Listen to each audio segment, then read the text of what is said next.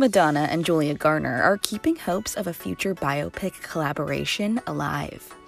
On Tuesday, the Material Girl singer took to her Instagram story to share photos with the Ozark actress. In one of the snaps, the pair eat french fries, and Madge captioned it, Bitch, we're Madonna. The duo reportedly united at a birthday dinner for photographer and filmmaker Steven Klein, and seemed to hint that Madonna's paused biopic with Julia depicting the legendary pop star may still happen in the future.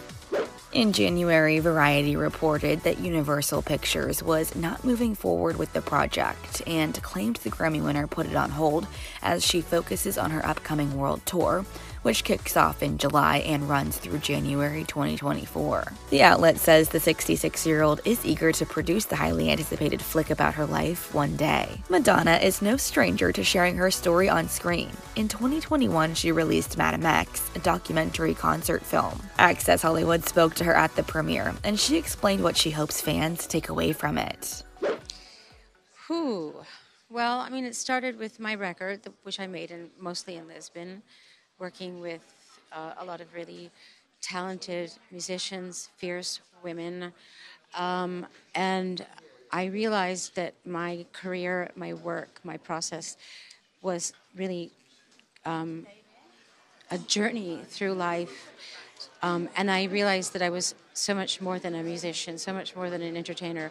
Being a parent, being a mother is a big part of my life. Being a teacher is a big part of my life being a daughter is a big part of my life, and, I realized I am I'm all of these things. And so, what who is Madame X? Really, she's she's all all of part all the parts of me that make me me, and really, hopefully, all women specifically um, can relate to it and understand that you know it's like multitasking to to the you know to the highest level. You are an inspiration. Um, your daughter Lourdes is doing incredible. Met Gala, Vogue cover, Fenty show. What is the advice you always give her? To have fun and not take it too seriously. Madonna, you've been an inspiration to so many women, including a mentor and friend to Britney Spears. Are you happy to see her engaged and hopefully out of this? So happy for her. Love her to death. Thank you. Thank you. You look amazing.